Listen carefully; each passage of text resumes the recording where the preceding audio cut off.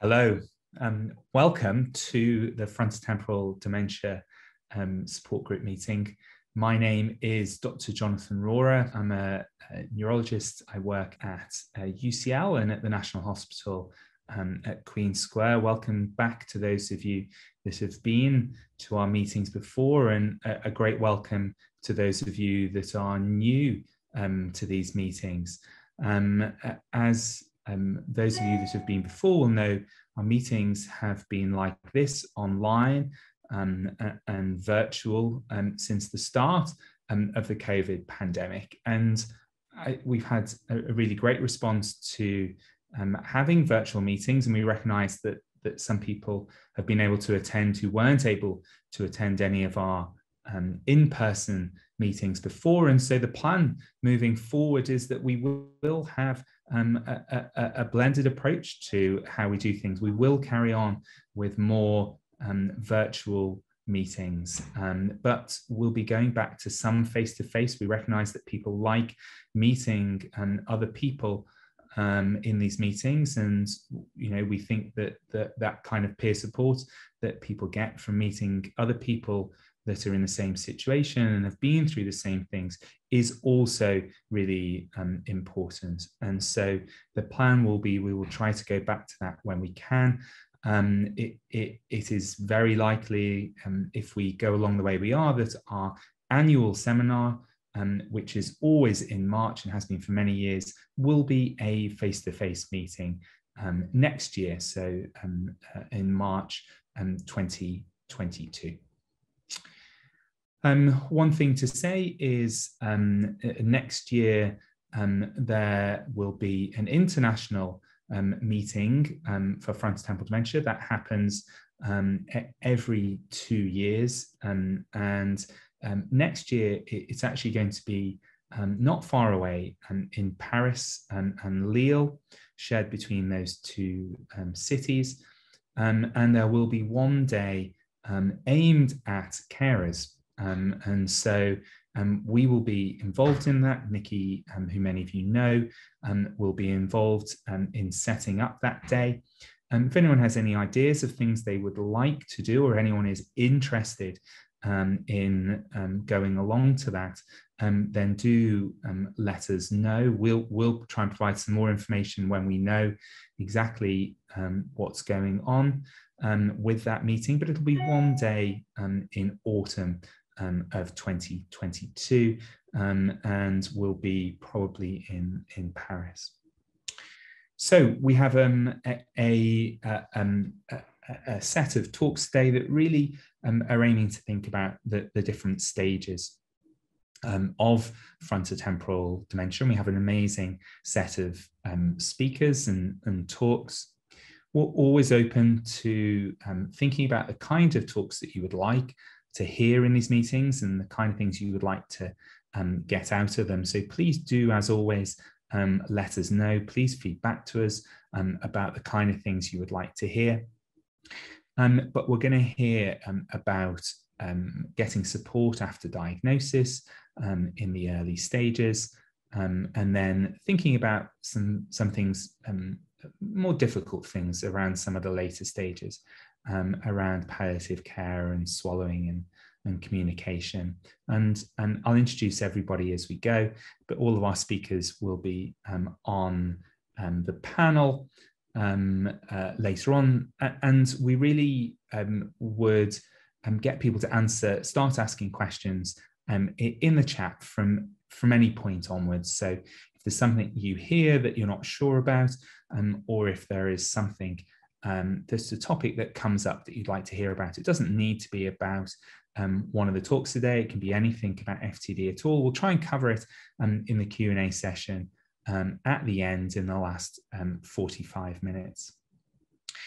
So um, without further ado, I'm going to uh, introduce the first talk, which is on post diagnostic support in the early stages from Nikki Zimmermann, um, and Olivia Wood, um, who uh, many of you will know um, from our, our um, rare dementia support and direct support team. Many of you will have been in, touch with them. They're going to um, talk just for the first 10 minutes um, a bit about the, the kind of support that you might get.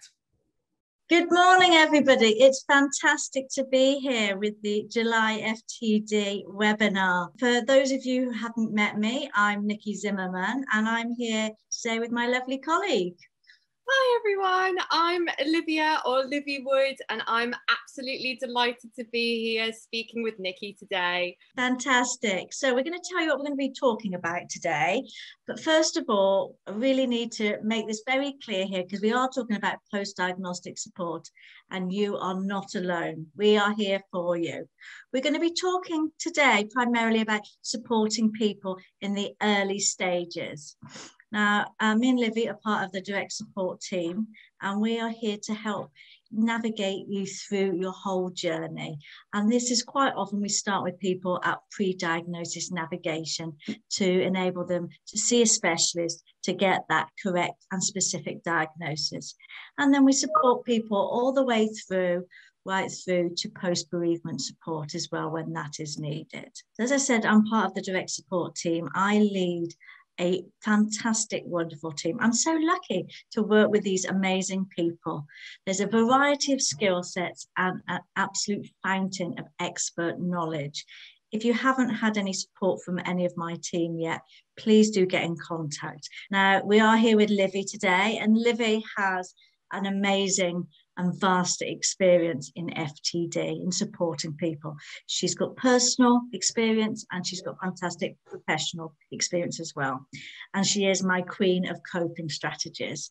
Oh, thank you, Nikki. And I'm yet to find a member who hasn't already spoken to Nikki. She's wonderful. She has extensive experience in our neurology clinics and also supporting people in care homes and also has some amazing personal um, knowledge of dementia also. So moving on to today's focus and what are we going to be talking about? Why are we here? So three things which are very important.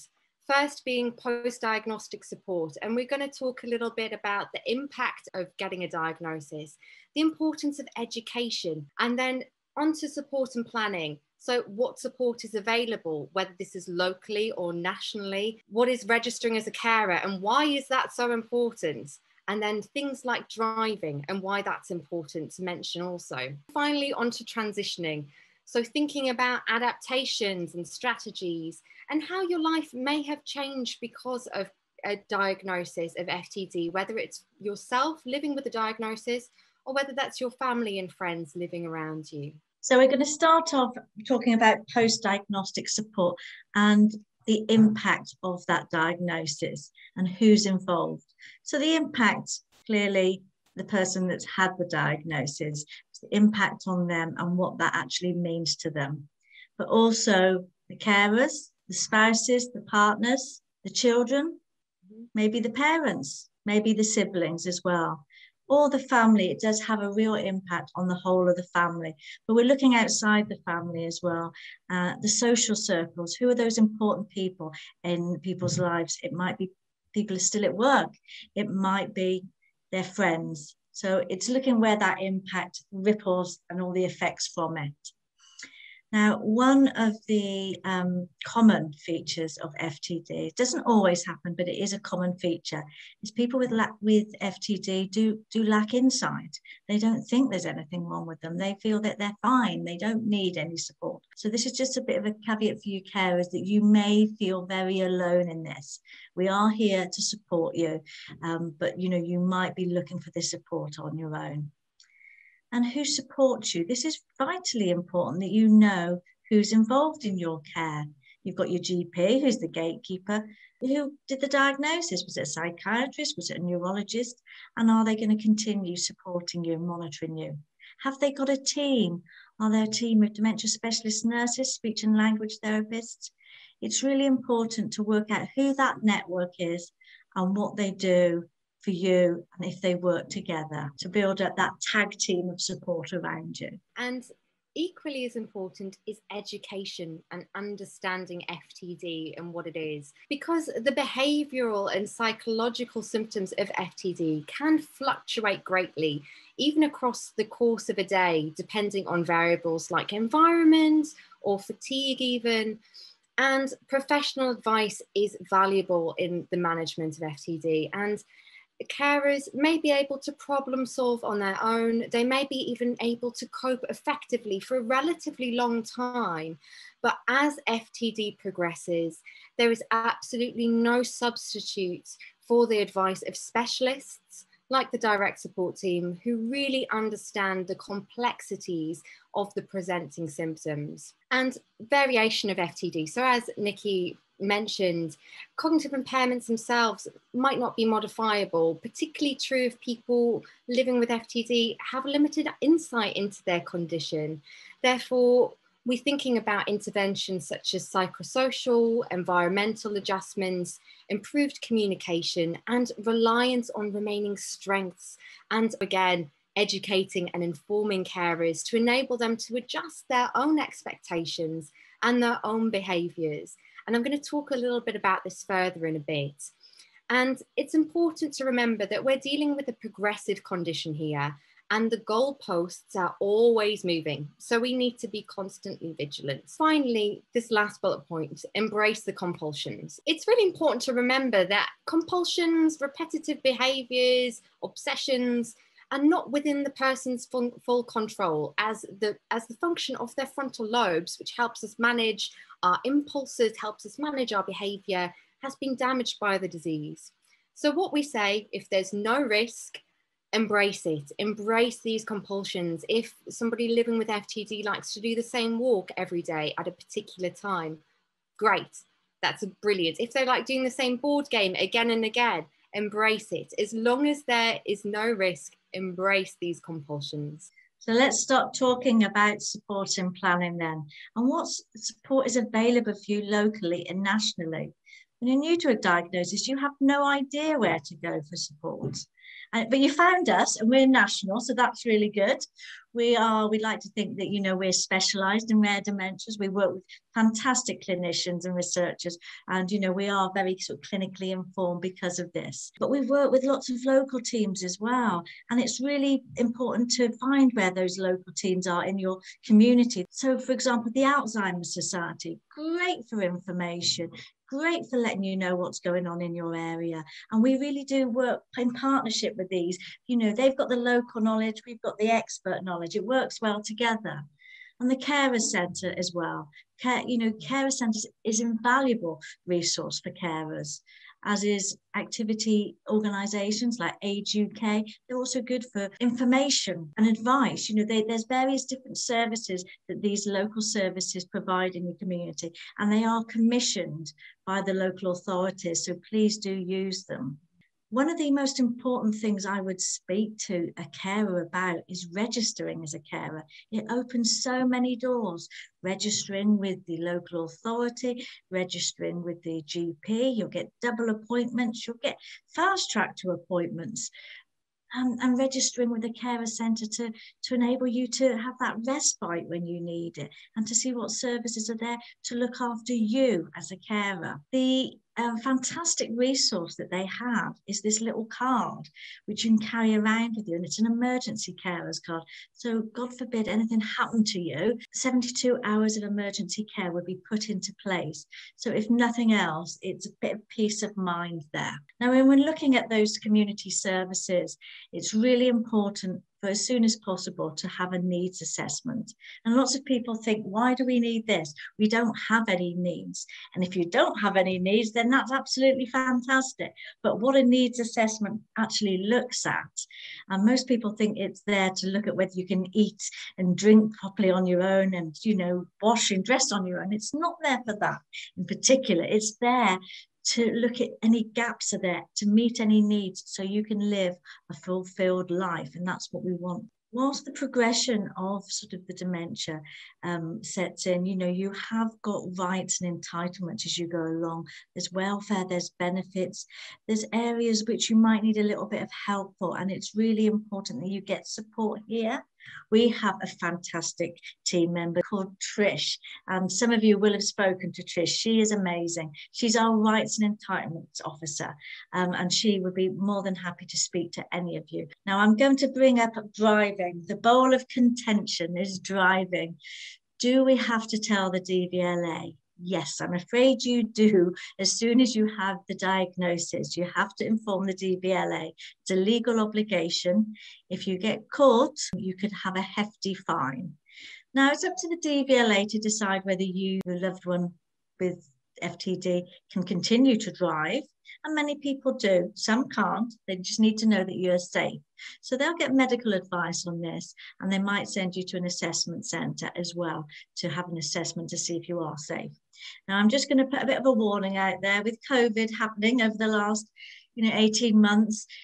There is a huge backlog here. So if you are in that process, a bit of patience is needed because um, it's going to take a little bit of time to work through this. Now, I'm just going to finish off my bit here about talking about planning for the future. And I think this is really important that you plan as much as you can for the future without being overwhelmed. But you consider living for today as well. That is so, so important to not be too overwhelmed of what's going to happen and forget what is actually happening at the moment. And I know it can be really difficult at times. So, really sort of focus on what are the good things in your life, and we can help sort of put some things into place for you. And clearly, sort of with the planning for the future, lasting power is a very important resource that you need to get in place. It's a legal document, but it will give peace of mind for you and your family of what is going to happen in the future. So, talking about transitioning now, and I think the first thing to acknowledge is receiving a diagnosis or a family member receiving a diagnosis is acknowledging that life has changed there is changes in dynamics of personal relationships and these often do accompany the onset of FTD regardless of the age of onset and we understand that this can sometimes contribute to emotional strain of caring for someone with this condition. Marital relationships in particular might be affected because of changes in intimacy, but also changing in relationships between children and a parent living with dementia, especially if the child or young adult is unable to understand, and there also might maybe changes with work or employment. FTD presents unique management challenges to carers, family members, and healthcare professionals. And while pharmacological approaches are sometimes used, non medication strategies are the preferred management approach for nearly all psychological symptoms of dementia. And they also help us identify the underlying causes of these behaviors rather than just treating the symptoms alone. And a person centered problem solving approach can help us ensure that you're employing strategies effectively and tailored to your loved one we have to be a little bit like detectives. We've got to think a bit more creatively. Sometimes we ourselves, as carers, as healthcare professionals, trigger unwanted responses, can trigger agitation because of our approach or attitudes towards somebody living with dementia in a given scenario. Maybe we have unrealistic expectations of the person or our care delivery and strategies aren't being tailored to their preferences, their abilities, or their strengths. So in addition to managing symptoms, carers' well-being must be taken into consideration. And this may include forms of support, including things like respite care, support groups, or even signposting to individual counselling. Now, thinking a bit about um, adaptations and strategies for common behavioral symptoms. So, for example, consider aggression and agitation, which is quite a common one which comes to us, Nikki, isn't it? One of the first things which I like to discuss is maybe matching tasks and activities to a person's strength and to avoid frustration. And then maybe thinking, is this activity necessary? And if so, how can we modify it to make it easier or less intrusive? In order to reduce those triggers. One of the things which comes to us a lot is bathing. Is it necessary to um, have a bath every single day? Personally, I don't think so. And Nikki's agreeing with me, so that's brilliant. And what can we do to make that situation a lot nicer? How can we make that a very pleasurable experience? Can we engage all the senses? Can we make it a very luxurious experience? It's important to remember here that not every strategy will work for every affected individual, and not every strategy will work every time it's applied. And each case and each situation needs an individually tailored response. And I think it's fair to say that the direct support team, we are always learning from our members. You guys are the experts. And what have I learned from family carers, living with FTD, one of the main things is don't try to reason with your loved one if he or she is unable to do so. The next one, again, particularly important, choosing your battles and modifying your own expectations rather than expecting the person is the way he or she was before their diagnosis. This acceptance can be slow, but it's often the key in setting you free there. And one, one of my all time favorite quotes here is playing the game. And this comes from one of our members with a diagnosis of dementia. And he says it's all about playing the game of dementia. The direct support team are with you every single step of the way. I cannot emphasize this enough. We're here to help attend to all the needs of all the parties affected by FTD throughout the duration of their illness. Thank you for listening to us today. And remember, you're not alone on this journey. Please, if you're feeling isolated, always here to help. We're going to get some questions in for us and we'll be more than happy to answer them today. Thank you.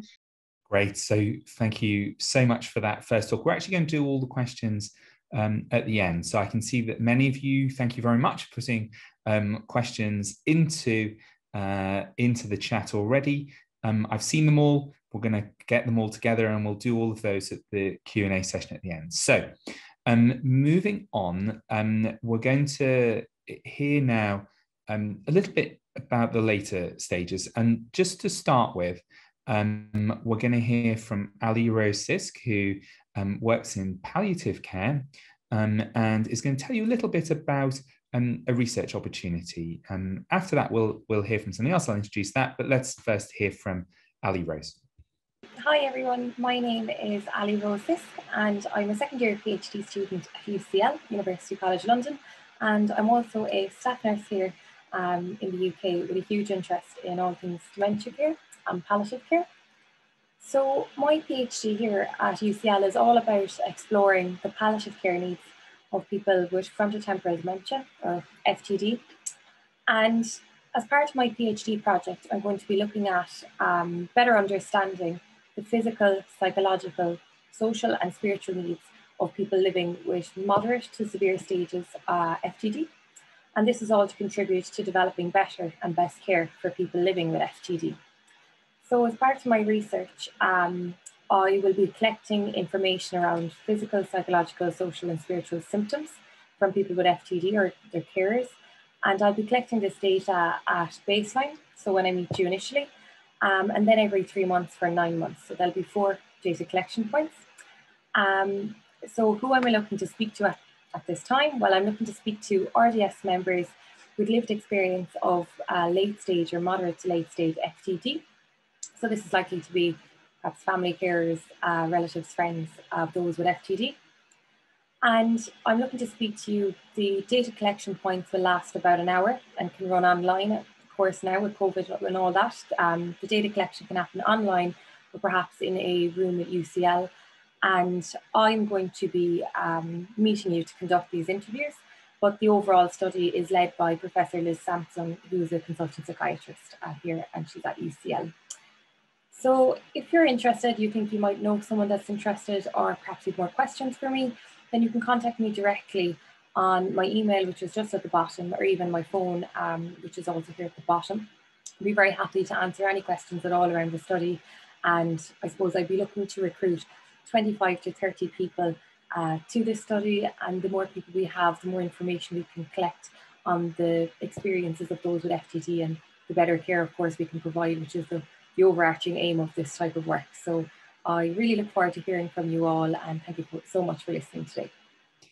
If anyone is interested um, in that, um, please do contact um, Ali Rose. If you uh, missed the information, remember that um, uh, today's being recorded. You'll get a link out. But if you want to know and you've missed the um, email address from Ali Rose, um, just drop any of our, our, our team an email and they can send out the details about Ali Rose's study. I, it, it's really important that we do understand um, this area better. It, it, it's um, very little research um, in the area, specifically on frontotemporal dementia. So great if people can um, get involved in that. So let's um, move on. Um, we're now going to hear about um, really later stage needs, particularly um, around communication and swallowing. We've got two um, really excellent speakers from our, our team. Many of you will know um, Anna Volkmer, who is a, a, speech and language therapist, who has a real um, specialist um, interest and knowledge um, about um, language problems in dementia in general, but specifically language problems in frontotemporal dementia and primary progressive aphasia. Um, and um, Hannah Gardner, who has been with us for a little while now, who is um, an Admiral nurse um, and is integrated within um, our um, RDS team. So let's hear from them and you'll get the opportunity to ask them some questions at the end in the Q&A as well. Hi, everybody, and thank you for having us here today. My name is Anna Volkmer. I am a senior speech and language therapist, and I work at the National Hospital for Neurology and Neurosurgery. I'm also a researcher, and I also work with rare dementia support. And I'm here with Hannah. Hi, everyone. I'm Hannah Gardner. I'm an Admiral nurse at the Rare Dementia Support Team. Um, I'm also a registered general nurse um, with a passion for sort of later stages of dementia. My role is to really support families living with a rare dementia. Thank you, Hannah. And we're here today to talk to you about communication in the later stages of frontotemporal dementia. But before we go into that detail, we thought we'd talk to you a little bit about what to expect. So, our presentation today is going to be quite practical. Um, but what we wanted to just touch on is that as a person with frontotemporal dementia changes over time, this can impact on their language. So this can impact on a person's ability to think of words, can impact on their ability to understand words, understand writing and read. And so often over time, that person becomes either quieter or the words and language they may use might not be as accurate or there may not be as much content. Alongside that, we often see that a person's broader communication skills might change. So they might not understand when to take a turn. They might not understand what, what to say that's appropriate. They might not understand to keep a topic going. And um, that can really link in with their behavioural changes as well. Also, sort of as someone progresses um, to the later stages of FTD, is also looking at the physical implication as well. Some people can become more rigidity, so this can cause a lot of stiffness and reflexing muscles can be more harder to do and that increases the risk of someone falling. So it's then yeah can be looking at their environment sort of trip hazards. So it's how do you manage someone who actually now has a physical condition as well? And then also as sort of progress into later stages swallowing can become an issue as as someone's ability to eat and drink um, the risk of coughing when um, drinking clear fluids and the right consistency of food as well. It's about getting the right balance. And that's when it's important so things like speech and language therapies are involved to assess someone's swallowing as they progress into later stages. So if someone's starting to cough on clear fluids and food, it's about getting that referral to the speech and language therapist to make an assessment on what's safe for them to eat and drink. But one of the things that Hannah and I often get asked about is how can we focus on a person's strengths? And we know that despite a person developing perhaps more difficulties in their language and their behavior and cognition there may be physical changes. Despite that there's often areas of, of retained strength. And one of those areas for some people can be numbers. It can be interests in art. It can be interest in doing tasks or uh, leisure activities like playing games or puzzles or sorting things. And often, one of the things that Hannah and I do is help people direct people to um, identify new ideas or new ways of engaging people that make the most of these strengths. And one single example of that is that we um, have collected ideas from other people as well. And recently, I was talking to people about watching TV programs, and a, a, um, client I was working with was saying that one of the TV programs they find the easiest to watch now is Tipping Point because it's based around numbers, where previously they've been someone who'd really engaged with longer series and movies. And I've shared that tip with many other people, and they found that really helpful to know which programs are going to be more likely for their family members to engage with and enjoy. In terms of communication, however, we can do something similar. We can make the most of people's pre- preserved strengths. And as a speech and language therapist, um, I would think of all all behavior as communication. Often when we talk about communication, um, people really only focus on what people say the, and whether they can say words or understand words. But communication is much broader than this, as we all know. It's about what you're wearing that conveys whether you're um, doing a professional presentation. It's about um, use of facial expression. And when we're talking about frontotemporal dementia, it might also be about facial expression and eye contact, pointing, the tone of somebody's voice, the way they are looking, what direction they're looking in, or how they might seem. You know, overall, they might seem frustrated or a bit flat. All of those things are ways that you can look at and engage with a person's communication.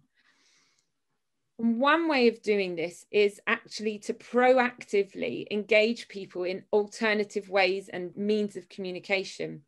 And so Hannah and I are going to now make a bunch of suggestions that you could perhaps use in everyday life. And we base these suggestions around senses because often senses are, are things that we can really make the most of in interactions. I'm going to start off by talking about sound and singing. And I've got a list of suggestions on the slides here, but I'm just going to give you one example of having worked with a lady who had frontotemporal dementia, but was very flat. And she didn't really communicate much with her family. But when we talked about the music, about music and the songs she'd like, she'd really enjoyed singing. And we started playing songs from her old list of songs that she liked. One of her favorite songs was Lady in Red. And when we started playing that, she was really able to engage with the music and sing along with the music and start moving with the music and interact with the people around her as the music was playing. But that doesn't mean just playing music. It might also mean introducing instruments or even playing things on an iPad. So I've uh, I have played to people football chants, I've played people birds song, and that's been really a useful way of actually bringing things to them that they can hear and engage with. Yeah, another sensor is sight and the importance of sight of how we connect with someone. And speaking to a lot of carers, it's often that engagement. How do we connect with that person for a short period of time? And the power of a photo is, is amazing. And especially when someone progresses into the later stages of frontal temporal dementia, these can be really powerful tools of to help the family connect with that person that they know the dementia may have progressed and this is a, a, photo can bring a chance for you to engage with that person again. And then i've had experience of a lady um, i'll never forget this engagement we had um, a group of mixed stages of people with dementia and this lady had advanced stages later stages of frontotemporal um, dementia and wasn't really engaged in the activities. We were having some reminiscence objects and look, people were engaging, but she wasn't really um, engaging in, in the groups. But then we brought out a picture um, of Churchill and we gave it to her. And within a second, she connected and was able to say in her own words that she said, That's Churchill. He, he came to my street when I was younger. And it was just this moment of this lady that we knew nothing about. But that picture had actually drawn out a moment in her life when we could see her as the person and, and not the dementia. And, it, and it, was, it was fascinating to see the impact on, on everyone, all the care staff involved, and really helped promote that person-centered care. So a powerful photo that can be used to identify someone and also improve the care um, due to carers' understanding about that person and that connection that has a real, real powerful um, connection of supporting someone at the later stages. And these can be used as well as people's favourite videos. You can watch films together. Um, often looking at fish tanks as well, engaging, talking about the fish, using that as a tool to really connect with someone um, and takes away the pressure. You've got something to talk about. Often you speak to carers, they really struggle knowing how to bring up a conversation and these using sight pictures, videos, video calls can really help you connect. Um, the next one is touch, the power of touch. And I suppose with COVID, especially with the PPE, the gloves, aprons, the masks that we have now, often that connection is limited, especially people who might be in care homes, but it's really powerful to have that connection um, as someone is advancing into the late stages. It often gives you comfort when you, someone touches your shoulder to when you're talking to someone to know that you're listening to them, promotes good eye contact as well. And it's about using objects of touch as well that you can engage with the person and yourself. You can both hold different objects, holding things like when you do massaging, holding the hand and massaging it with cream um, gives a lot of comfort and connection, and often that can be done when someone's giving personal care as well. If someone's more agitated, maybe not able to uh, comprehend what you're doing, but by calming someone, touching their hand can really make a powerful um, difference to someone, how they feel. And it's about using objects in the in the house as well that can be used, such as a hairbrush, example here, the ball, spike ball, it's something to touch and the string as well, it's an object to engage with that can be done for a very short period of time to help connect and ease, ease someone at the later stages. And also smells, the power of smells. Um, these are great ways of connecting as well. Things like flowers, herbs and fruits um, is about actually getting hold of it and smelling it yourself and getting the person to smell it as well and have a, a positive things like fresh fruit, fresh flowers, to be able to smell fresh flowers helps lift someone and connect um, with that person as well. You're sharing that experience, they can smell it, you can smell it, and it really is a powerful way of connecting. And you can get things like smelly cards that you can scratch and smell things like fresh cut grass. You can um, get cards that smell of fresh baking or baby powder. It's all that connection to bring that, start that conversation. It's not necessarily about reminiscence, it's about starting that conversation smelling something. Oh, that reminds me of when so and so happened. It's that connection. You might they may not be able to verbally communicate back, but they're having a reaction. You're able to tell them a story. You're connecting with the person. So the power of the smells, the flowers, herbs is a really good um, way of connecting. In this picture of lavender, lavender's calming, isn't it? You smell it. It helps with sleep as well. So it's uh, it's incorporating smells and that texture in how you engage with someone as well, which is a really important aspect. And this one, taste taste is a pleasure as someone probably progresses to the later stage of any dementia. Um, it's one of life's pleasures, isn't it? Taste brings a lot of pleasure, and it's about safely tasting things that might give comfort. For here, we've got the ice cream, all the different flavors ice cream that you could use. You could spend a short period of time with different flavors, and you have some, and they have some, and it's that taste and comfort and connection, and which is really powerful with someone as someone progresses into sort of the late, later stages. And you can play on this. Someone might have fav- a favourite flavour of ice cream, favourite sweet, and it's about giving that taste um, and experience how you connect with someone. Was trying something new as well. Sometimes you try different sweet, sour things, have different reactions. So it's about connection, using it to, yeah, you try it, they try it, and it's an experience that you're connecting and um, giving, as we say, comfort. And as someone progresses to the later stage in care, it does become important. So for things like if they are um, having problems with the swallowing, it's about have opportunity to actually have a look inside the mouth and clean the mouth by tasting tasting things as well in short and small amounts that wouldn't um, prevent stop someone choking or anything. It's just yeah, opportunity as well to use that taste to check that at the later stages they are okay. Oral oral health is good too. So that's a way of connecting with someone too.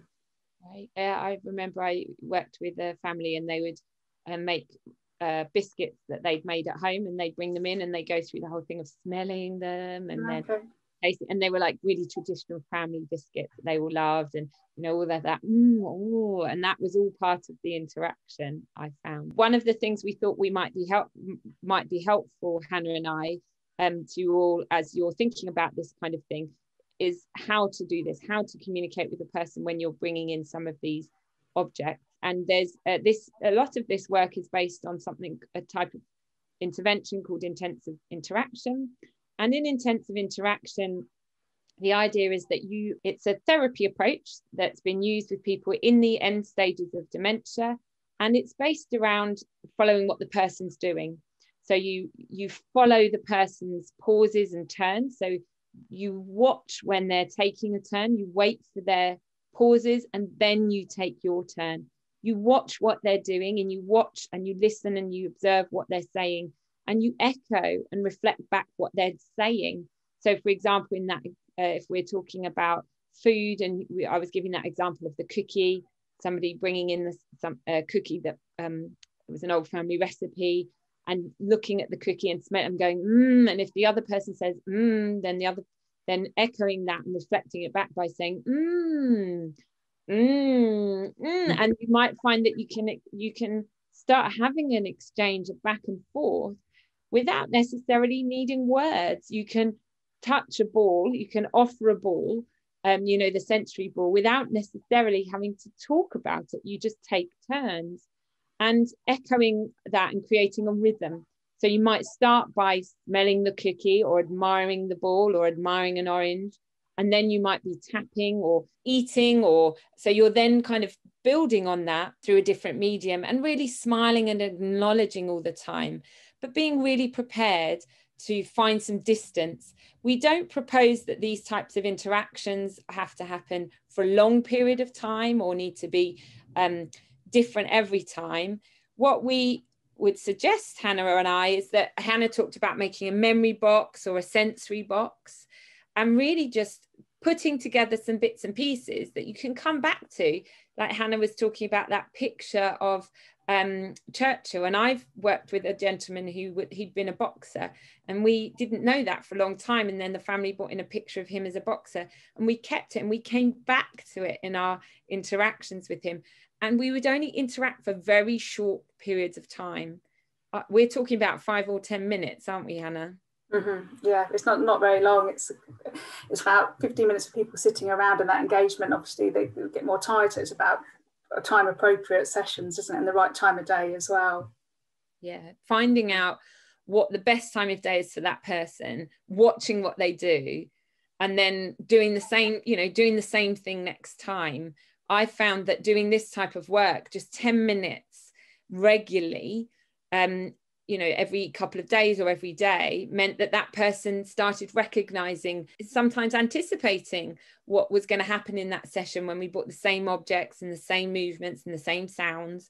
And that person actually started turning to his name more and the he was actually becoming um, much less agitated or distressed when we were present. And his family members were saying that they I, have had a lot of feedback from these type of interactions where family members have said or, or carers have said oh I don't know what to do. I'm sure you've heard that Hannah.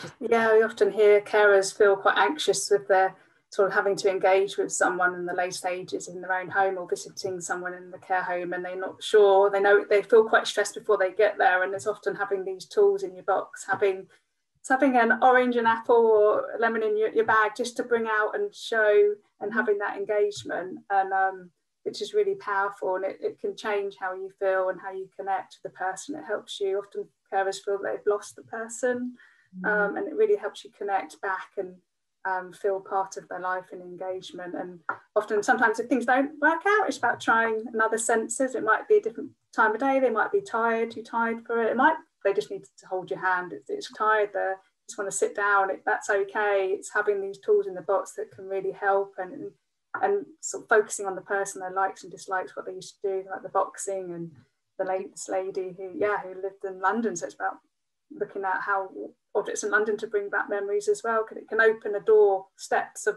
more things to explore and just trying and not being disappointed if it didn't work out this time. It might be other things that prevented it but it's yeah and not putting too much pressure on time and that just a few minutes isn't it i think that's really yeah. going back to sport at the moment with the football you know playing the tottenham a Tottenham game with the Tottenham fans singing. That's something I remember doing with a client, and and actually he hadn't heard that for years and years. And then he and then we started playing it more regularly, and it was a delight. It wasn't loads; it was a couple of minutes each time. And then family members are saying, "Oh, I didn't think of that. Mm-hmm. I just wanted to i just thought i was here to chat but actually chatting might be actually watching a video or listening to music chatting could be brushing somebody's hair chatting could be doing someone's nails chatting mm. could be um, giving someone a hand massage. Chatting could be um, just saying mm and tapping their hand. There's lots of different ways in which we can interact. So thank you very much for listening everybody. Hannah and i are really looking forward to hearing any of your questions in the q&a today where we will hopefully be able to chat with you a bit more. Thank you for your time. Yeah, thank you, everyone. Great. So um, lots of of um, great advice, and and um, uh, both um, Anna um, and Hannah um, will be available for some Q and A, and I can already see some questions coming up on this topic. Before we move to the Q and A, we have one last video from Nikki, who is going to give us an update on something called World FTD United, which is um, really a collection of um, support groups similar to this um, around the world, which we're part of. It's about trying to um, understand the work that is done um, in um, other places, in the US, Australia, France, uh, and see if there are things we can learn, but also things um, we're doing, which um, other people can learn from us. So um, uh, going to give us a, a, a brief overview um, of that work with World FTD United. Hello, it's me again. We'd just like to update you on the World FTD Awareness Week from September the 26th through to October the 2nd. Some of you may remember from last autumn, we were part of the World FTD United Marathon, a day of talks and interviews with health professionals and caregivers across the globe. There were three legs, started in Australia, moving through time zones to Europe and ended across the pond in the USA. It was wonderful to see this international collaboration, which World FTD United is all about. It is an international group of organisations who provide support for care partners and all affected by FTD. It was responsible for organising the first World FTD Awareness Week back in 2016. At present, 15 countries are represented in the group, including Australia, North and South American countries, many European countries, and part of Asia. This year, World FTD United is holding a global conversation on FTD. We want people diagnosed, care partners, and healthcare professionals to join us as we develop a film reel of experience. We would love for you to participate, and this is our ask for those of you that are interested. Simply film a short two minute video of yourself speaking about how FTD has touched your life. What we would like you to include would be who you are and where do you live? How does FTD impact your life? What has supported you in this journey and what gives you hope for the future? If you'd like to participate and would like more details, please send me an email at contact at raredementiasupport.org. Thank you for listening. Great. So, um, if I can um, uh, get all of our panel um, to uh, get their cameras on and we'll get ready um, for our um, Q&A. I should say a, a, thank you both to Anna and Hannah, who are attending from their holiday, um, including Anna, who is not in the UK. So thank you to you both um, for taking part um, in this um, during our holiday. So um, I, am going to start and try and go through a little bit in, in the order um, of the talks, but I might end up jumping around um, a, a, little bit. So and Livy, one of the questions is about how can we get GPs, and I suppose that's um, also includes physicians um, elsewhere to have more knowledge of um, support post diagnosis for people with FTD. I, I know lots of people we hear from are told the diagnosis and and you know are, are, are then left on their own. It's a very good question, and I'd like to start that by saying that the direct support team never discharges anybody at all. And so please do come to us with questions. And of course, we um, support not only people living with dementia, their families, but also healthcare professionals. So we're very happy to do partnership working, provide information. We have professional packs, professional training documents that we can pass along. So please do um, give your professionals our, um, our contact numbers if they'd like to be in contact with us. And as well, it's about empowering. So previously working as a healthcare professional, I loved it when um, my clients would talk to me about conditions that maybe I wasn't so familiar with. So bringing information and saying that actually in this situation, mum doesn't like it in with this, this is how this makes her feel. Maybe you could talk to her this way. This is how she communicates better. Do feel um, empowered to be able to have those conversations because you at home, everybody listening, you are the professionals here. You have such an in depth knowledge of FTD. And yes, we really want you to be able to share that with the healthcare professionals. But as I said, um, we do support professionals. So do give them our number and send them our way as well. So similar, similar question, similar theme, and it's kind of the same answer, but I just, um, it, it, this is from someone who um, uh, says, What can we do to put pressure on our local mental health teams? I have four residents within care homes. So this is perhaps relevant to everyone mm. um, later stage who have behavioral variants, frontotemporal dementia, all were discharged from their mental health team um, without any ongoing support. So, um, uh, anything to add to what you said, Livy? Yes, so this is quite a tricky question. So, we do acknowledge that there's a bit of a postcode lottery out there with NHS services. In some areas, you'll find that somebody's given a diagnosis and they're kept within a service in, indefinitely.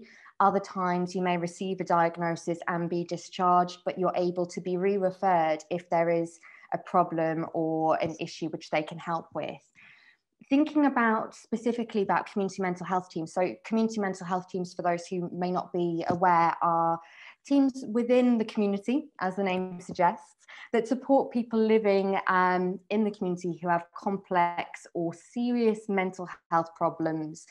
And um, these can include people like care coordinators, psychiatrists, CPNs, etc.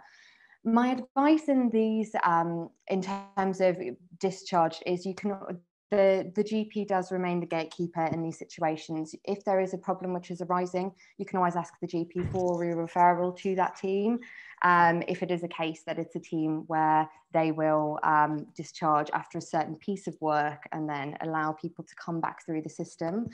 Otherwise, um, quite similar to what I said before, at RDS, we do work in partnership with healthcare professionals. So do send them our way. Um, we can provide education, we can provide videos, we can provide so many wonderful resources, and we do not discharge anybody. So, yes, please do feel free to send them along.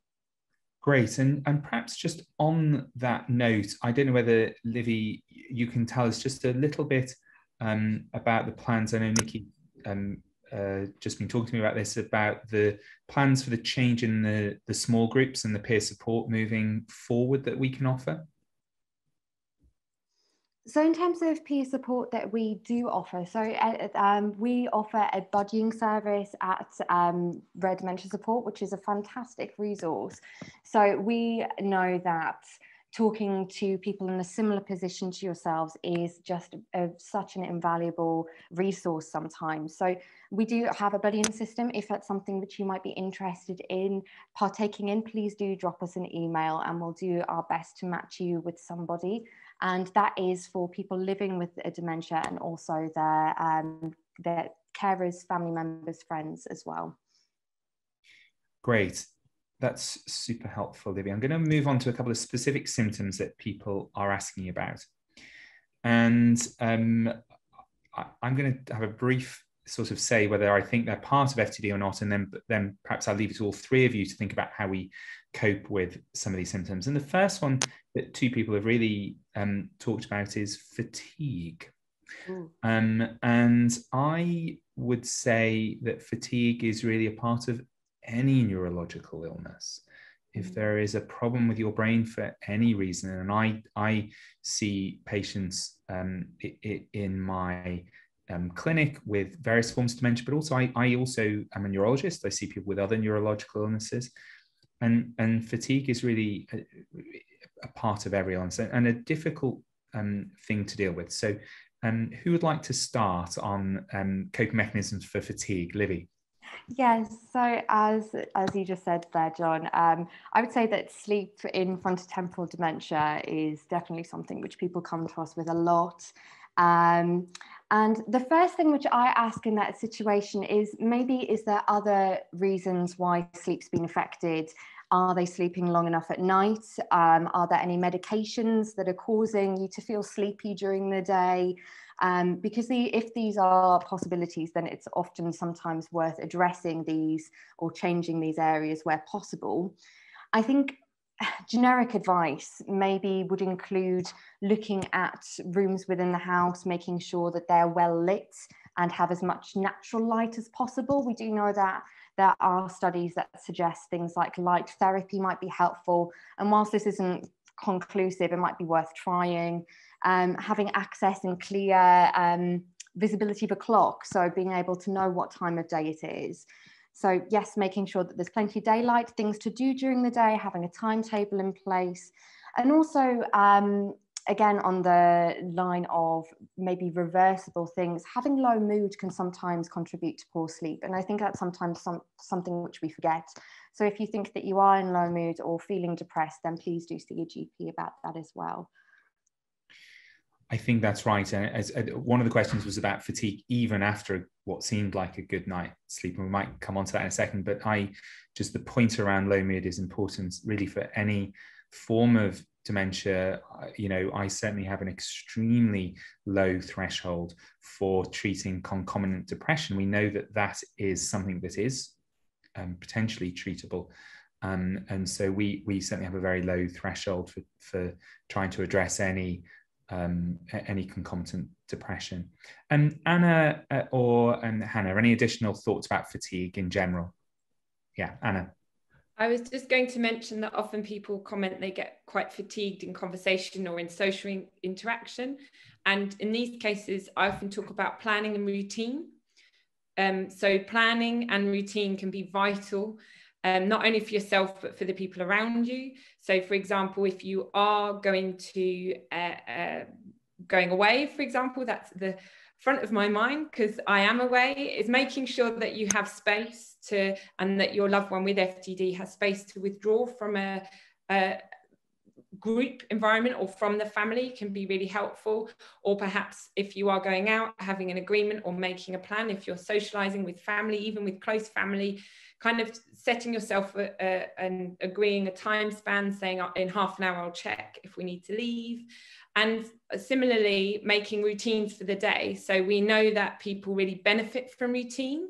It, it makes the most of their cognition, maximizes their cognitive strength. So I often suggest to people sitting down at the beginning of the week um, making sure that both of you are aware of your routine, having even rather than using a simple calendar, actually having a, a very simple A4 page or a whiteboard where you've written in keywords, or you can stick photos or, or images up on the board. So you're both on the same page about what your routine is and including things that you might think are less part of your um, you know, make having a social calendar. But even, for example, I was talking to somebody recently about putting the bins out or mowing the lawn. They're actually an important part of your social calendar or potentially your loved ones. So including those as tasks that will take up energy and um, and they're important to perhaps to your loved one with routine.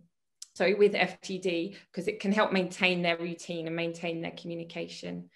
Um, that's my two pence. I'm not sure if Hannah, you wanted to add something to that. I could see you nodding. I think, yeah, I think we both answered the question so well. Um, I suppose it's that routine, isn't it? So important to have routine today to stop sleeping in the day as well, and also for carers to, yeah, remember to look after themselves as well.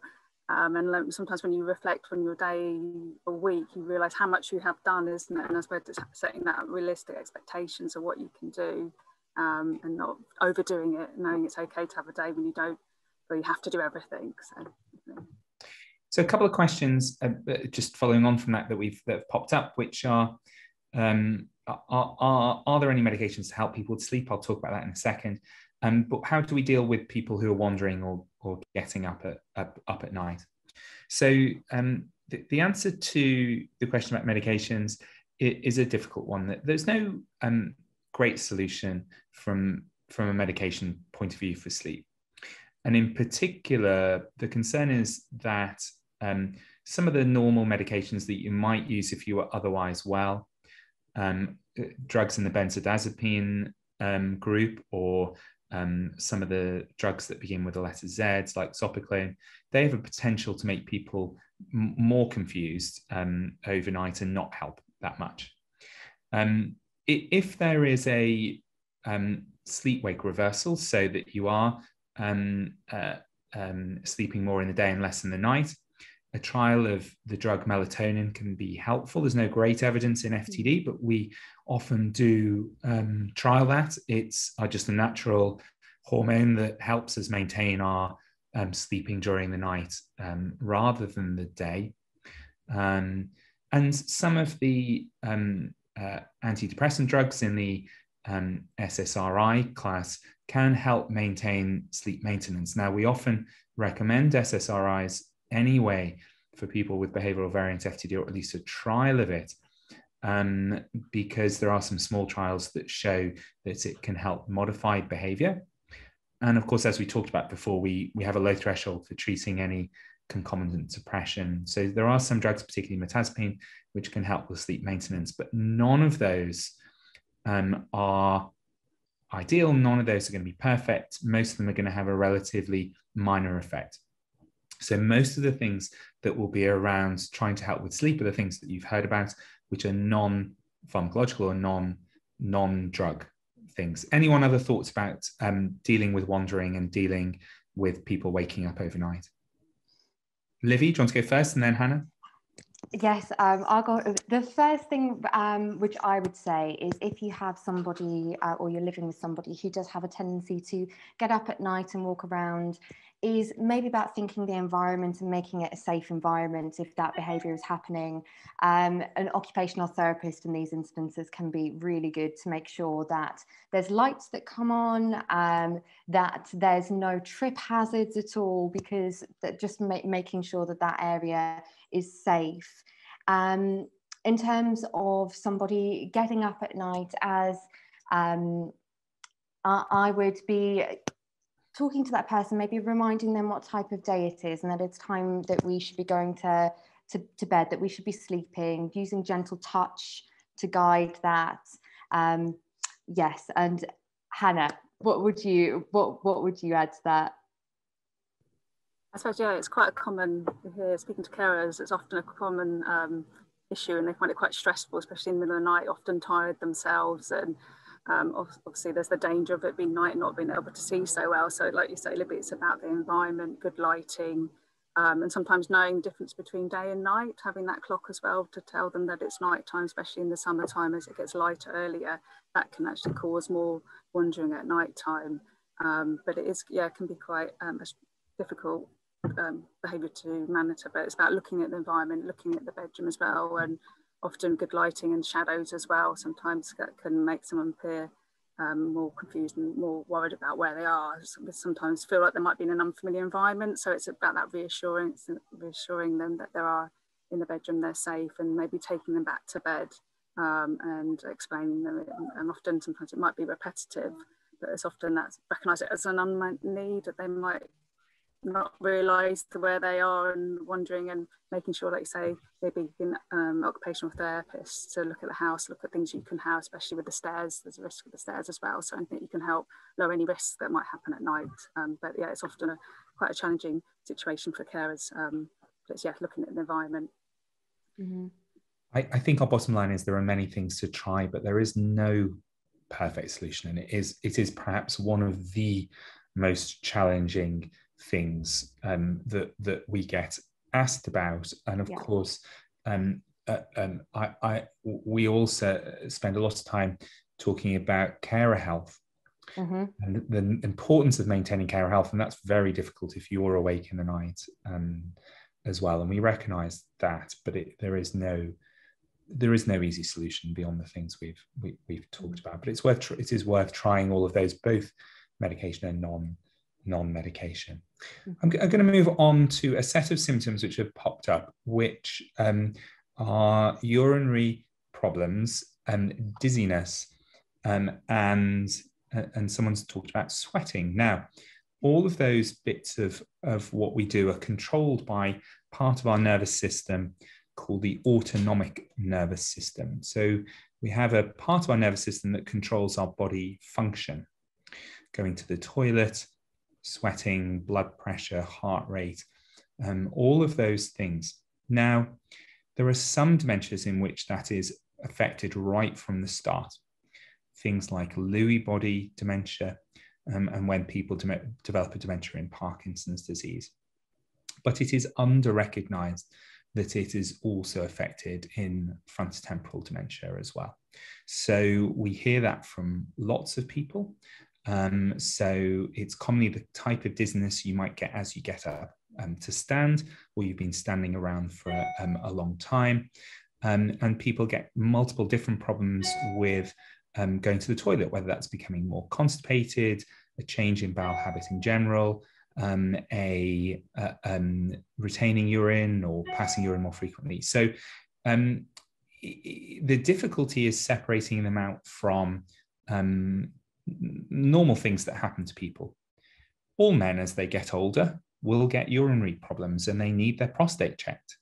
Incredibly common, the most common cause for men to have problems. So we, even though you have a form of dementia, it's important to check that there isn't another physical reason for those symptoms. But in the absence of your GP or a specialist finding a problem in those areas, those are symptoms that we see in frontotemporal dementia. Not necessarily you'll find them on, on you know, a normal list of symptoms, but they are things that happen. So let's just perhaps work our way through trying to deal with some of those. Um, maybe Hannah, thinking about urinary problems and how we deal with those. Yeah, so it's quite um, an important sort of thing to um, manage. And, and when someone's incontinent, it's about keeping that area dry and clean and looking about how you can get sort of incontinent pads from your local sort of council as well. And often, sometimes it's also about sometimes people become incontinent because they don't know where the toilet is. So it's about having good dementia friendly signs in your in your house that says the word toilet and the picture of the toilet and take regular people regular to the toilet to see if they need to go as well. Um, and it's also when people do become incontinent, um, it's important to also monitor how much they're drinking to make sure they're passing enough. As some people progressing to later stages can swallowing can be um, a problem. So it's about monitoring how much they're actually intaking and monitoring sort of how many wet sort of pads they have. Um, but it's also if you do find it becoming more challenging, it's about getting help um, from might be a might need more help with carers coming to visit to help with the incontinent aspect of it as well. Um, and speaking to your local GP as well to how to get referred to more support and your local authority as well if you do feel like incontinence is becoming an issue, especially if you're having to leave the house. Often it's a really good idea to, if you're going somewhere, to plan about where the toilet might be. So eases that anxiety when you're out in the community as well. Um, so yeah, if you feel like it's becoming more of an issue, speak to your local authority about maybe starting a care package to help you support um, you deal with that that need. And there's often a local continence service. I think people don't make use of all the services that they can have locally, and maybe you know because you have a form of dementia, not, not sometimes GPs don't always think about the kind of services that that are on offer, and, and most local areas will have a continence service which um, people can make people can make use um, of. Um, any thoughts, anyone, on dealing with um, sweating? So um, I would say that um, both the autonomic nervous system, but also a bit of our body, a bit of the brain called the hypothalamus, we know is affected in frontotemporal dementia. We know people can, um, you sometimes see that um, in people who turn up in our clinic in the midst of winter in their t-shirt, or the opposite, they'll be in in in summer and will turn up in their um, big coat. So it's a it is a problem um, and can get more of a problem as time goes um, on. So there's a question about how we might deal with that beyond keeping them in a cool room and using some medication to try and bring the temperature down. Any any thoughts on dealing with those things? Livy. Yeah, it's quite a tricky one, isn't it? Um, I think um, obviously keeping hydrated is massively important in this situation. And I know that it can often be challenging as carers to make sure that our loved ones are drinking and, and having as much water as they should. Um, I'd like to plug slightly that there are um, some amazing little things out there to help with this. So there's something called jelly drops. Um, for dementia that are incredible. And I've had so many success stories with members um, using these in the past. And these are particularly helpful, helpful if you have a loved one who maybe isn't drinking that much, but still has swallowing in, in, intact and can eat. And these are little sweets where I think about 95% of it is actually water. So it does help um, with hydration and keeping your body topped up with water. And in terms of keeping cool, natural fabrics, natural fibers, having things like cotton and just things which are a lot more breathable, not these synthetic, um, more heavy type fabrics, which are more likely to, to keep in the heat and make you feel a bit more sweaty. So I guess they, they would be my tips. But yes, it is quite a, a challenging symptom. Does anyone else have any any ideas? I, I just perhaps want to make make um, people aware the, the the drops you talk about, the jellies, they're amazed they were designed by the son of somebody that had dementia and mm-hmm. recognized his father didn't wasn't keeping hydrated. Yeah. And they are they're an amazing invention, I think, because they are incredibly simplistic, but but actually, you know, biologically quite difficult to keep lots of fluid within something that someone with dementia who isn't that responsive necessarily, but is able to take them in. Um, and I think that's right. The you know that, that lots of people I've spoken to have had a very um, found them incredibly helpful when they found other things like drinking water or you know drinking from a cup much more difficult. Mm-hmm.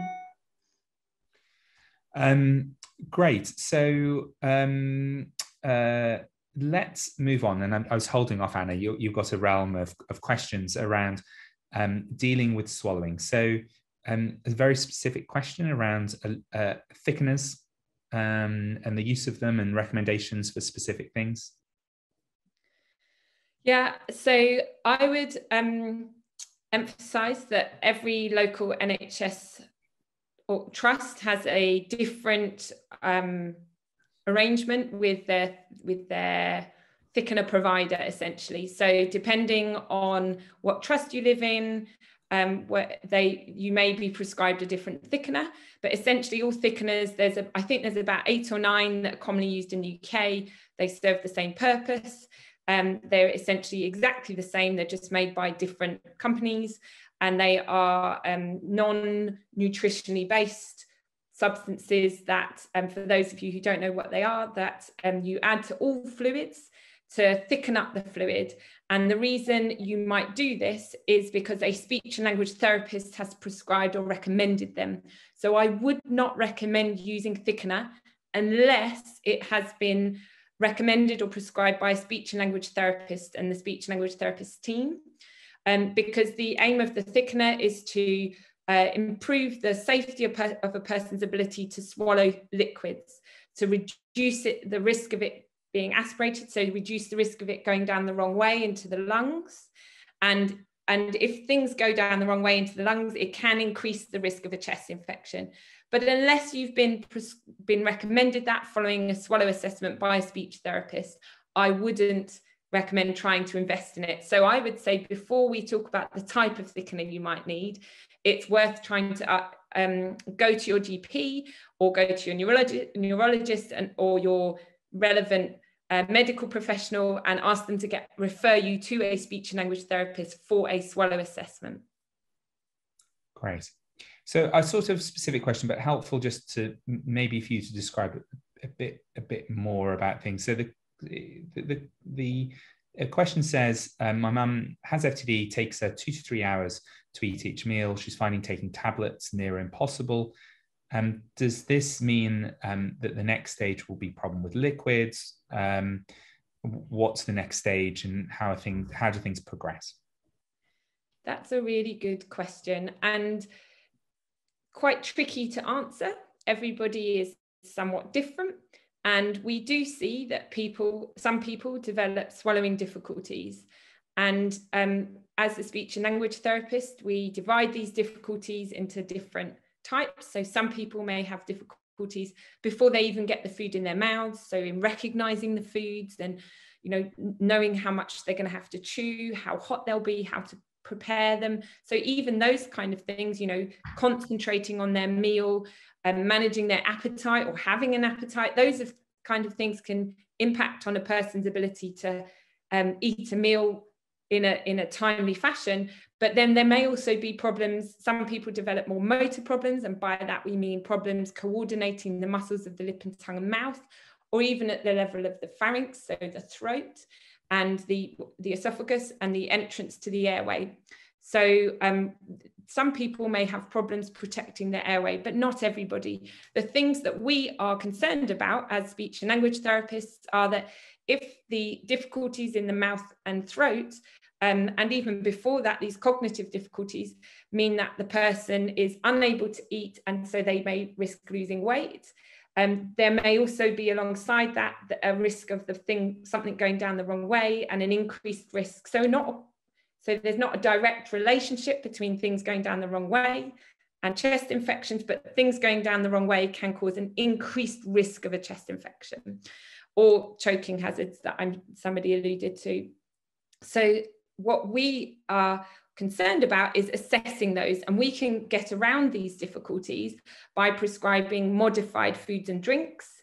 We can get around these difficulties by suggesting people eat and drink in different ways. So, for example, we might suggest people have smaller amounts more often. So, that person's question, um, this, this strategy may address that. So, for example, I often suggest to people having a breakfast, a mid morning tea, a lunch, an afternoon tea. And so, you're having smaller portions more often and making sure that those portions are um, nutritious and, and sometimes thinking about what the issue is. So looking at the environment, you know, turning off any distractions, turning off a telly, turning off the radio, making sure you're sat at the table, um, nicely set up with a good um, and, and visual knife and fork and plate that the person can access.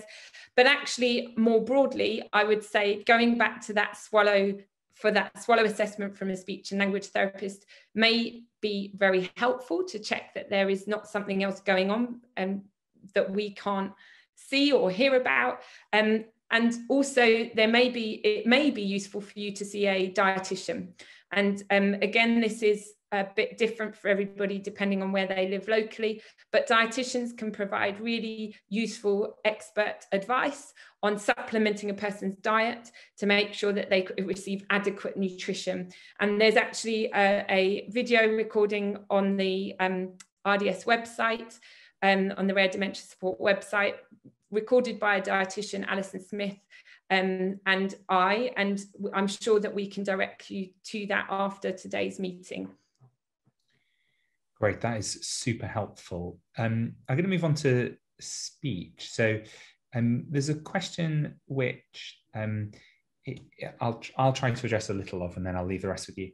Um, but it says, are people with FTD entitled to support to help them try and relearn things they have forgotten, such as understanding of words and food hygiene, safety? Any tips would be helpful. So uh, I suppose the first protocol is to say, well, what do we mean by um, having forgotten them? Um, and there will, it's worth just working out what it is um, that people are not doing. And often um, just to remind people and for people that don't know, one of the problems that the thinking problems is not so much around memory and forgetting things, but it's more around planning and problem solving and making decisions. So it's not necessarily that people have forgotten certain things, but it may be just they have difficulty forming the plan on how to do that, certainly uh, uh um, um, early on.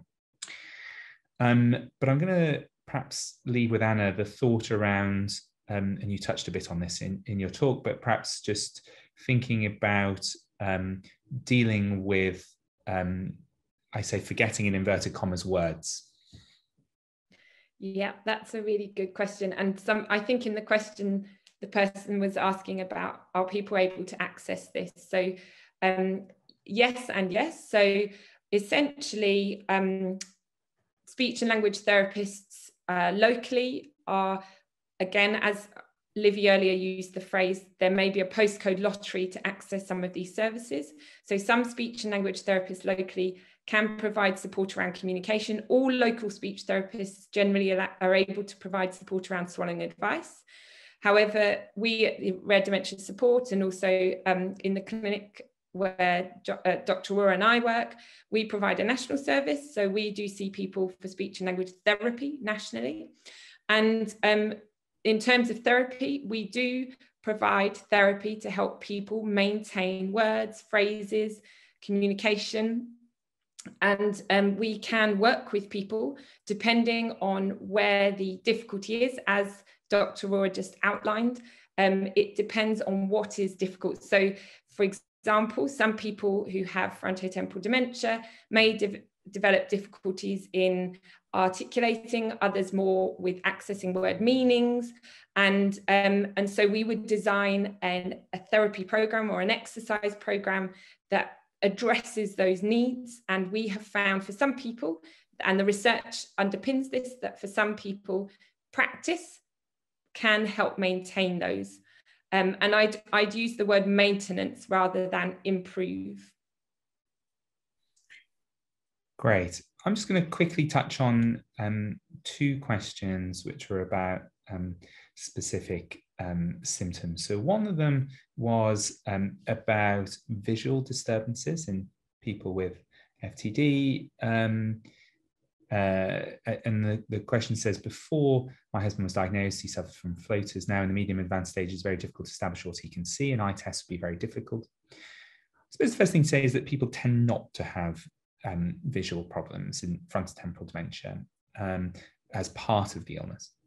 Um, it, it's not usually, un, unlike some other conditions. Um, so, for instance, um, we, we see a lot of people with um, a degenerative condition called posterior cortical atrophy, where people do have visual problems that are not to do with the eye, but they're due to the way that the brain processes visual things.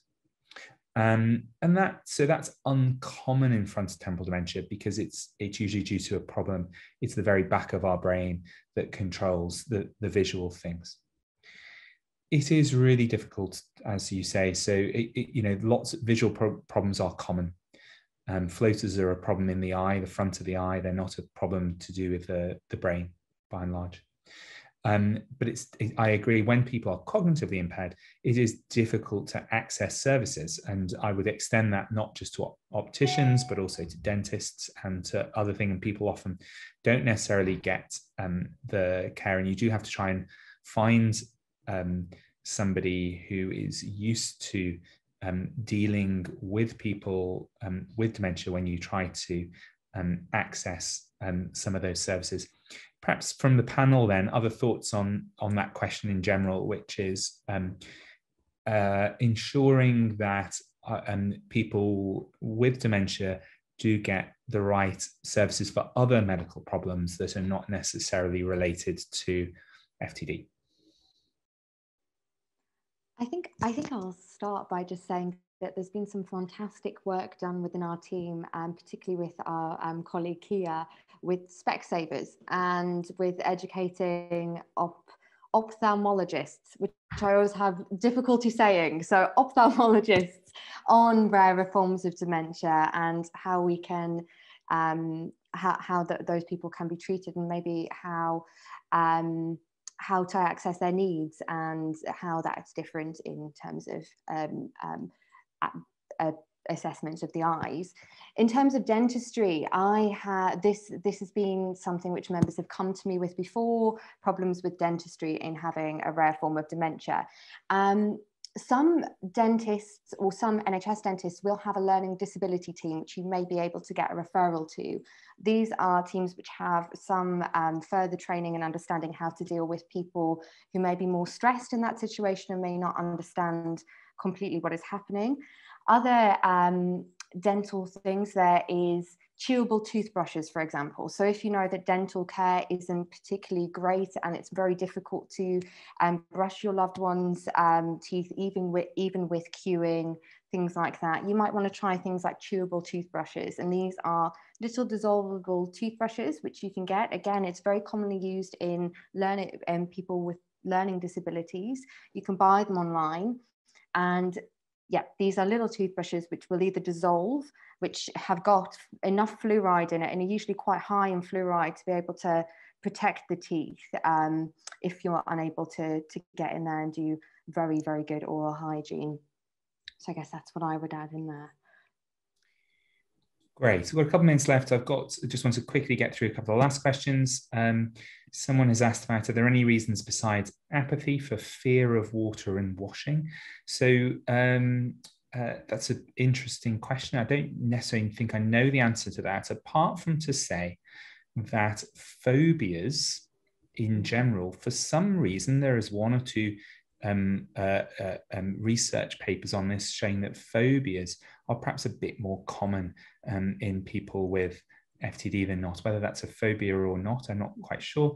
Um, I, would have to perhaps ask the person a little bit more to understand exactly what there was, but we know that, that certainly phobias and, uh, and, are, and anxiety um, is higher um, in people with FTD perhaps just one there is someone about dealing with anxiety and, and ask whether we they can use medications like Valium or the diazepam. We generally don't recommend that for anxiety. And again, we think more, while some medications may be helpful, again, usually in the antidepressant SSRI group of drugs, actually, again, dealing with anxiety is mostly non pharmacological, non non drug. And some advice from people, maybe um, Hannah or, or Olivia, about dealing with anxiety?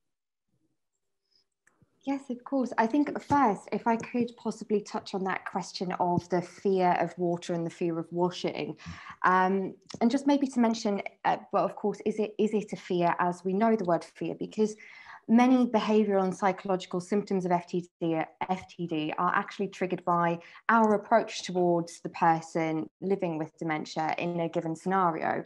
So, for example, this could be bathing or personal care. Um, for example, if we're not tailoring um, our care delivery to their preferences. So, um, in terms of bathing, and this is something which comes to the direct support team a lot that people um, maybe struggling to um, bathe their loved one or to motivate them to have a shower every day, to bath. Um, the first thing which we, we would say is, of course, is it necessary to bathe every single day? Um, absolutely not. If there's no incontinence issues, there's no real reason to be having that shower, having that bath every single day. And in terms of making bathing, if it is a more difficult experience, making it a more positive experience, making it a really luxurious experience. As um, Hannah and Anna touched on, engaging the senses, so having some really lovely scented soaps, having music on to make it really relaxing and a positive experience. Sometimes you can use um, activities that somebody values. So, for example, um, if somebody really values seeing their grandchildren, for example, setting that up as an excuse to have a bath or shower. But um, in terms of apathy um, as well, which we know is a symptom which um, is very common in FTD, um, sometimes with bathing, we might need to um, set, set things up, use prompts, cue the activity through gentle touch, physical guidance, even demonstration to help them initiate the task. Um, so that was just touching on um, what was said before about fear and bathing. And of course, this is all trial and error. And please do contact the direct support team because we can give some further advice around, around that. Um, in terms of dealing with anxiety in general, I would say, again, just to mirror what John said, that it's very common with people um, with dementia to have anxiety, and it can definitely make the symptoms of dementia worse in some circumstances. So, particularly affecting the person's attention, their planning, their organizing, their decision making. So, in general, I would say creating a calm environment, removing stresses that you know about, avoiding environmental triggers. So noise, background noise can be um, really difficult if it's a very busy household, if there's lots of things happening, glare, background distractions, such as having the television on, can also act as triggers. Monitoring personal comfort. Is that person anxious because they need to use the bathroom? Are they anxious because they're too hot or too cold? And also things like simplifying tasks and routines because that can also sometimes add to anxiety if they are if if you're setting up a task and that person might not be able to achieve that that can be extremely anxiety provoking.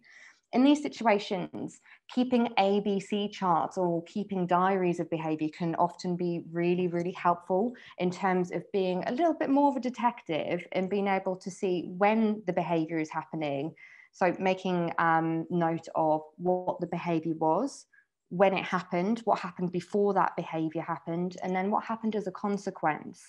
And then sometimes over a period of time, you might be able to start to identify possible triggers or um, certain situations that this behavior is occurring. So, for example, is the agitation happening coming up to 1 p.m. every day? And is it really because that person's anticipating having lunch and they haven't had it yet? Things like that. Great. So I'm going to try and, and draw us to a close. I've got a couple of comments and a couple of things. I, I, we I covered all the questions, and then two late ones came in. So for those that have come in late, I'll do a very quick question, but you may well have to um, uh, contact our team. So, a really helpful comment, we have mentioned this before, which is if there are urinary um, or bowel problems, um, getting the local council to give you a key for a disabled toilet so that you can get into them. I know my father's disabled, we use that all the time. Super helpful if you can go around and carry around a, a key to get into disabled loos. Super helpful. Um, someone's mentioned about using ice lollies if for hydration in hot weather. Again, good idea. I think something we tell people tell people all the time. So thank you both, but two members for for making those points.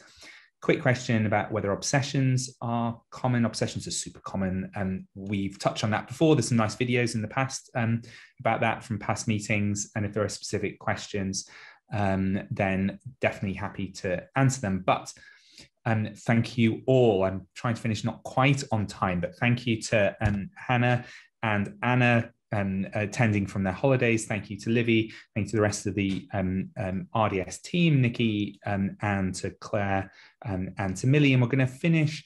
Um, we are very lucky to be part funded by the National Brain Appeal, which is our local charity. and we're just going to hear a short video from them um, about fundraising um, to finish off the day. But thank you very much. Thank you to everyone attending. Do contact us if you have any outstanding questions.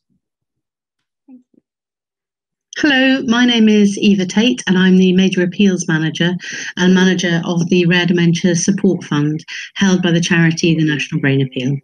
The National Brain Appeal raises money as the dedicated charity for the National Hospital for Neurology and Neurosurgery and UCL Queen's Square Institute of Neurology. The National Brain Appeal raises funds for Rare Dementia Support's 2,000 members to help individuals living with rare and early onset forms of dementia, their families, friends, and healthcare professionals. And we also hold several other funds for FTD and dementia research. The funding helps not only the support group meetings in London, but also the regional support groups, admin and support staff, and all other associated expenses, including the new online support groups. When when things return to normal, there are travel and accommodation bursaries available to help members attend the meetings. This year, we've raised our fundraising target to 300,000, and this will rise further to 350,000 by 2022 to develop and extend the service in the areas of education, support, and research, with the ultimate aim that everyone affected by a form of rare dementia will have access to specialist information and support, as well as contact with other people with a similar condition. We apply for grants from grant making trusts, foundations, and livery companies, and have a wonderful group of supporters, some of whom are here today, who fundraise for us in an amazing variety of ways. We would love it if you would like to sign up to our RDS fundraising newsletter to hear more of these stories and receive news of how we can support this community. We have had people do head shaves for us. We have had um, a gentleman drive across the Mongolian steppe in a VW Polo, and we have lots of people who take part in runs and virtual runs as well. At the end of February, we held a gala dinner called Mission Possible, where we raised 110,000 for the expansion of rare dementia support. And we are delighted to announce that, in line with this expansion, the charity is committed to raise up to 7 million to create the world's first centre of excellence for rare dementias. If anyone would like to discuss any fundraising ideas or the new capital appeal, um, please do feel free to email me or my colleague Alexis, our senior fundraising manager, who will speak about the innovative new ways you can be involved in fundraising for RDS, even during this challenging time. Thank you very much. Hello, my name is Alexis Gebby, and I'm the Senior Fundraising Officer at the National Brain Appeal. Um, I just want to start off by saying a huge thank you to all of you who already fundraise for RDS. We really appreciate all of your incredible efforts, especially at this difficult time. My role at the National Brain Appeal is to look after all the amazing people taking on various fundraising activities for us. We have had people challenging themselves to run marathons, cycle long distances, climb mountains, and even take on skydives, all whilst raising money for RDS. We also have wonderful fundraisers out in the community who organise golf days, hold coffee mornings, host choir and carol concerts, and even shave their heads. These people ensure that more people like you can be supported through Rare Dementia Support. If you're interested in becoming one of our fundraising heroes, then please do contact me. I am here to support you with your fundraising and I'm more than happy to chat about any ideas that you may have. While at the moment it isn't possible to take part in a sporting challenge or hold a big fundraising gathering in your local community, we do have some fundraising ideas, such as taking on a solo virtual run or walk, hosting a quiz for your friends or family online, asking for birthday donations in lieu of going out, or even donating money that you may be saving by not travelling to work or buying your daily coffee. Do get in touch with me if you would like to get involved. In the meantime, take care and we hope to see you soon.